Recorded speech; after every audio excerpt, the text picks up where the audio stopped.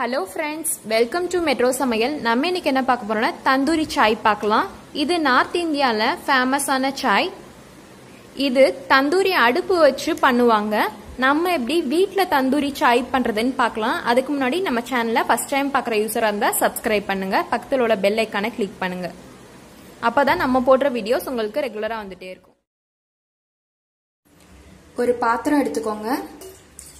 ஒரு கிளாஸ் தண்ணி ஊற்றிக்கிறேன் தண்ணி லைட்டாக கொதிக்கட்டும். ஒரு துண்டு இஞ்சியும் ரெண்டு ஏலக்காவையும் தட்டிடலாம்.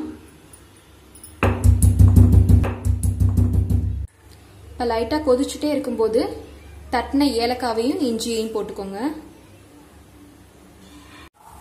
கொஞ்சம் சூடாகவும் டீத்தூள் தேவையான அளவு போட்டுக்கோங்க. நான் மூணு ஸ்பூன் போடுறேன்.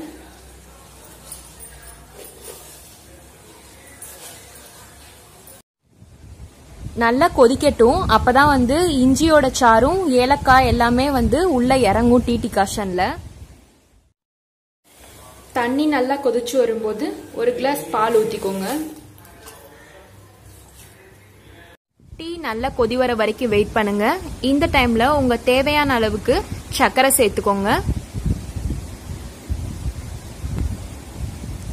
நல்லா பொங்கி வந்துருச்சு. இப்ப அடுப்பு சிம்லயே இருக்கட்டும் ஒரு டூ மினிட்ஸ் மட்டும். இப்ப அடுப்பு ஆஃப் பண்ணிடலாம் இந்த டீ இப்படியே இருக்கட்டும். இன்னொரு ஸ்டவ்ல இந்த மாதிரி ஒரு பானை எடுத்து அடுப்பை சிம்மிலேயே வச்சுக்கோங்க. திருப்பி திருப்பி சூடு பண்ணிக்கோங்க. இது அப்படியே ஒரு பத்து டு பதினஞ்சு நிமிஷம் பானையை நல்லா சூடாக்கணும்.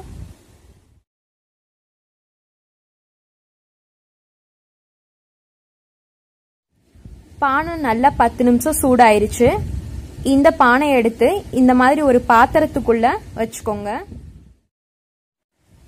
நம்ம எடுத்து வச்சிருந்த டீயை இந்த பானையில வடிகட்டி ஊத்திக்கோங்க. டீ வந்து கொஞ்சம் சூடா இருக்கிற மாதிரி பாத்துக்கோங்க வாவ். இந்த டீயை நீங்க ஒரு மண்பானையிலையாவது கிளாஸ்லயாவது ஊத்தி சர்வ் பண்ணலாம்.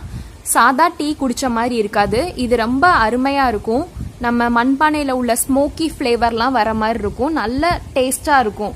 நீங்களும் உங்கள் வீட்டில் ட்ரை பண்ணி பாருங்கள் ஃப்ரெண்ட்ஸ் இந்த ரெசிபி உங்களுக்கு பிடிச்சிருந்துச்சுன்னா லைக் பண்ணுங்கள் கமெண்ட் பண்ணுங்கள் உங்கள் ஃப்ரெண்ட்ஸ் கூட ஷேர் பண்ணுங்கள் தேங்க்யூ